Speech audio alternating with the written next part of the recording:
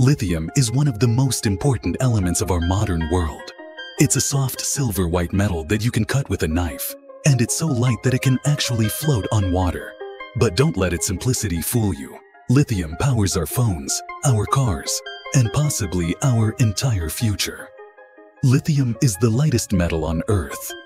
It reacts instantly with air and water, which is why you never see it lying around in nature. Instead, it's usually trapped inside rocks, clay, or brine deep beneath salt flats. Extracting it is like unlocking a tiny powerhouse hidden inside the earth. So why is lithium so valuable? The answer is energy.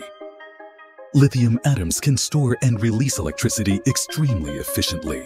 Inside a lithium-ion battery, these atoms move back and forth between layers, creating a flow of energy.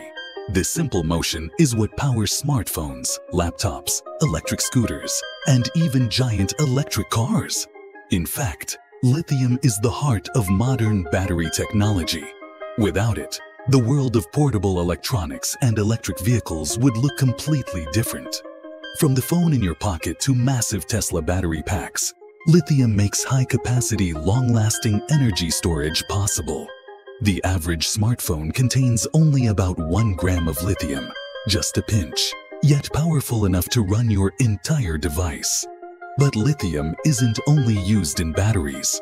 It's also essential in aircraft metals, certain medicines for mental health, heat-resistant glass, and powerful industrial lubricants.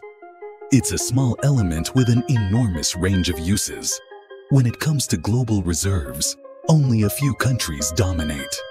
Chile, Argentina, and Bolivia, often called the Lithium Triangle, hold more than half of the world's known lithium resources. Australia leads in production, mining huge amounts of lithium ore every year. Lithium may be small and light, but its impact on the future of energy, technology, and transportation is enormous.